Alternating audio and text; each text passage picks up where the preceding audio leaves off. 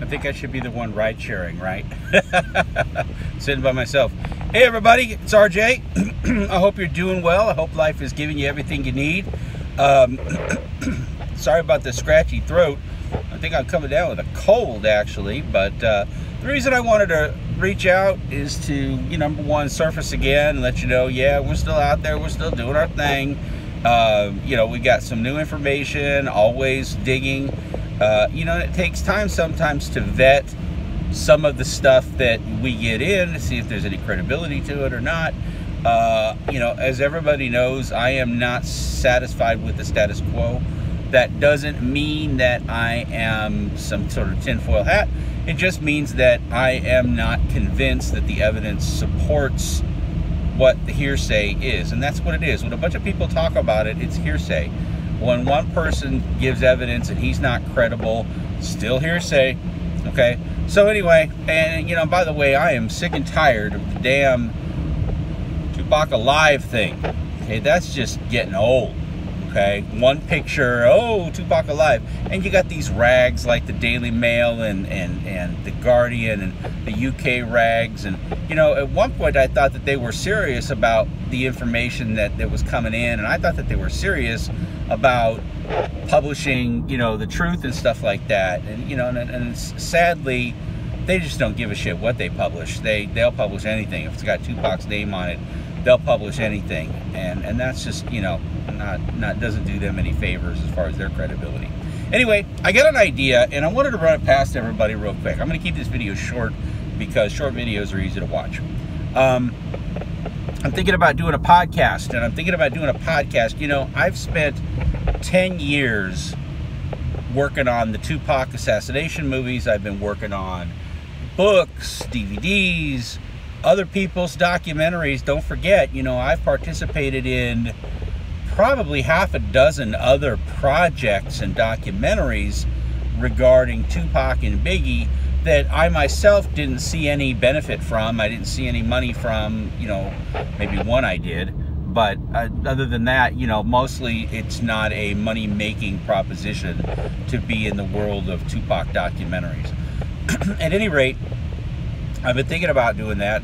You know, sometimes you can talk on a podcast and you can talk about the stories and if you say that they're hearsay and they're hearsay, then you tell the story and it's hearsay and hasn't stopped anybody else from doing it. So I'm thinking about actually doing that because as you guys might know, I've got thousands of stories that I can tell about Frank Alexander, about any of the other players involved. I can talk about what my personal experiences with them are.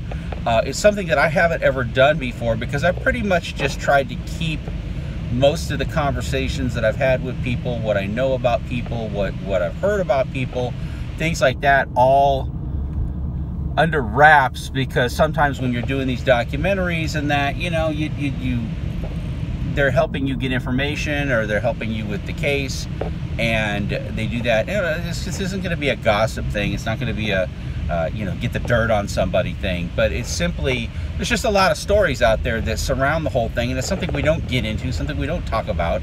And I thought maybe because I've been dealing with all these things, you know, for 10 years, I mean, you got to understand that, uh, you know, my relationship with Frank took me to a lot of places that, you know, we don't talk about or we haven't talked about, uh, but still deal with the people, places, and things of interviews that we've done, uh, situations that we've gotten ourselves into.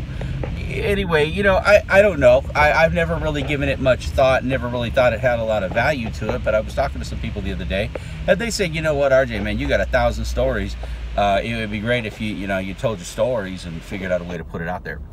YouTube uh, is really bad right now because of the cancel culture. That you know, if somebody doesn't like what you're saying, they try to community guidelines strike you, and it's become this whole strategic way of, you know, making sure people don't say what they say. Podcasts are a little bit different uh, in their structure and their setup and how they how they work.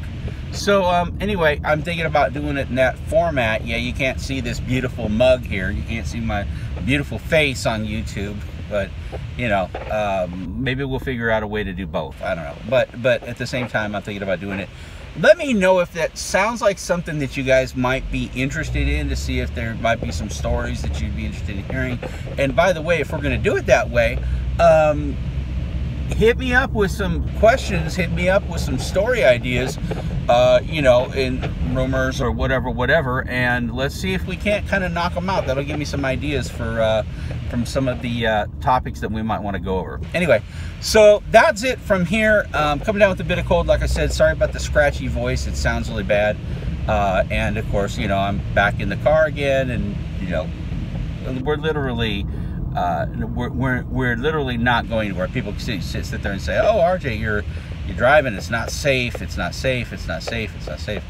Actually, the truth of the matter is, is that we are like literally going nowhere while we're doing these videos. Okay, see that? There it is. Okay, we are going nowhere while we're doing these videos.